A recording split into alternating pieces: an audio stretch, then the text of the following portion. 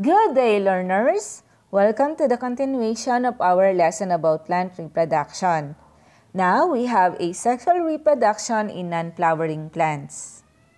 Non-flowering plants, also called gymnosperms, do not reproduce through flowers but reproduce by means of releasing large numbers of spores. May mga halamang hindi namumulaklak, kung saan hindi bulaklak ang ginagamit nito upang magparami. Maaring sa pamamagitan ng spores o kaya naman ay ang iba't ibang parte ng katawan nito.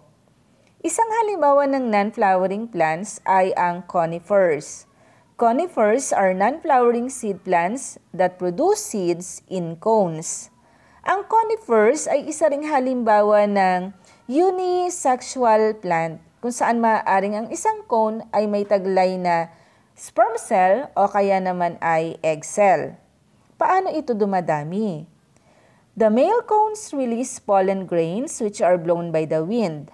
If pollen lands on female cone, it fertilizes the female egg cell. The fertilized egg develops into a seed. Tandaan natin, kapag ka nagkaroon ng union between male and female sex cells, pwedeng magkaroon ng fertilized egg na pagmumula ng panibagong halaman. Aside from conifers, other example of non-flowering plants are ginkgo biloba, cypress, and cycas. Ano naman ang asexual reproduction? It is the production of new plants with only one parent involved. Production of seed is not needed. Kung sa, eh, kung sa sexual reproduction, kailangan ng male and female parent para magparami dahil dito manggagaling ang egg cell at sperm cell, sa asexual reproduction, isang parent lang ang kailangan para dumami yung uri nito. Hindi rin kinakailangan ng buto o seed para dito magmula ang panibagong halaman. Ibig sabihin nun, maaaring sa pamamagitan ng parte ng katawan niya, magmumula ang pagpaparami. Here are ways on how to reproduce plants asexually. Pwedeng through vegetative propagation, fragmentation, budding, or spore formation. Ilan sa mga ito ang ating pag-aaralan. Simulan natin sa vegetative propagation. It is a form of asexual reproduction where new plants are produced from one part of a parent. Alam nyo, ito yung madalas na ginagamit din upang mas ma- mapabilis na dumami ang mga halaman. Nangangailangan lang ito ng isang parte ng katawan ng halaman para dumami sila. Maaring gamitin ng stem, leaves, or roots nito. Here are some examples of modified stems and roots. Maaring galing ito sa isang parent plant para gamitin na dumami ito. So, ilan sa mga ito ay ang bulb. It is a rounded stem with fleshy leaves. Example of these are onion and tulip.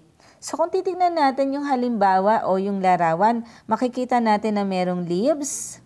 Ito yung stored food. And then we have the bulb. And then at the bottom of the bulb, dito naman tumutubo yung mga roots.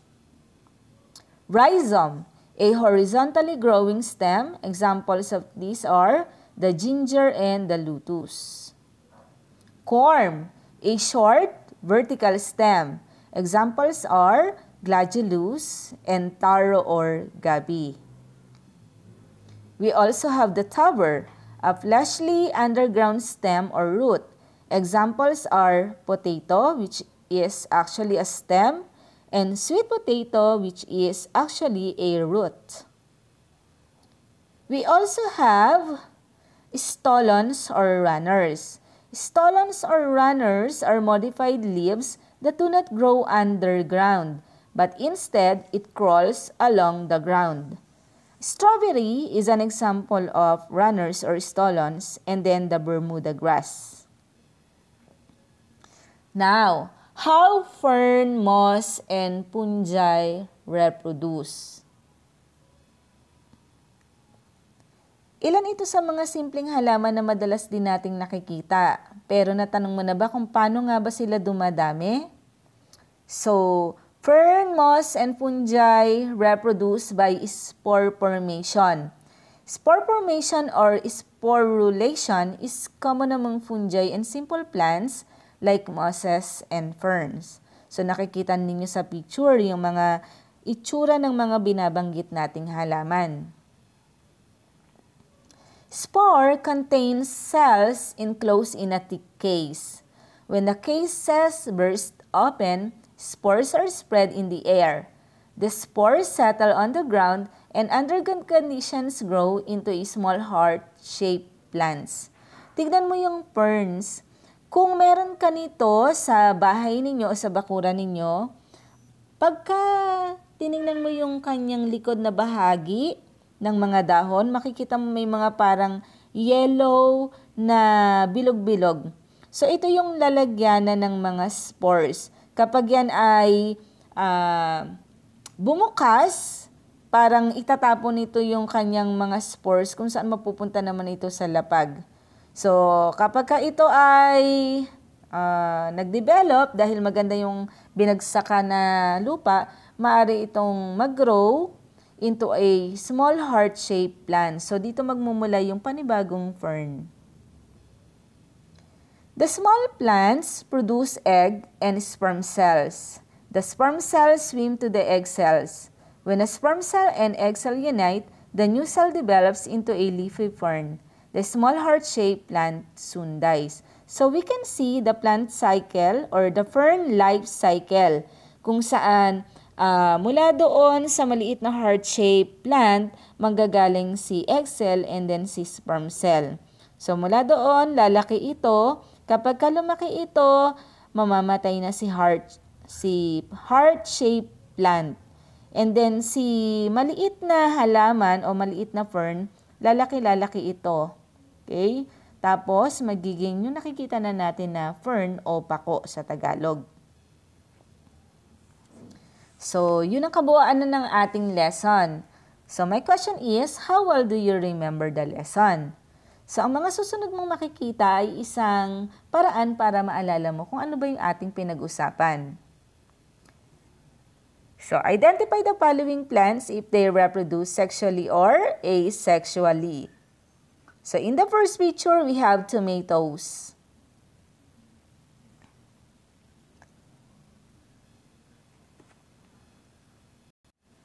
So tomatoes reproduce sexually. How about katakataka? Okay, it reproduce asexually. Next, watermelon. Watermelon reproduce sexually. Roses reproduce sexually. How about garlic? Okay, it reproduce asexually. So I hope you did learn from our lesson. Till next time, good luck. God bless.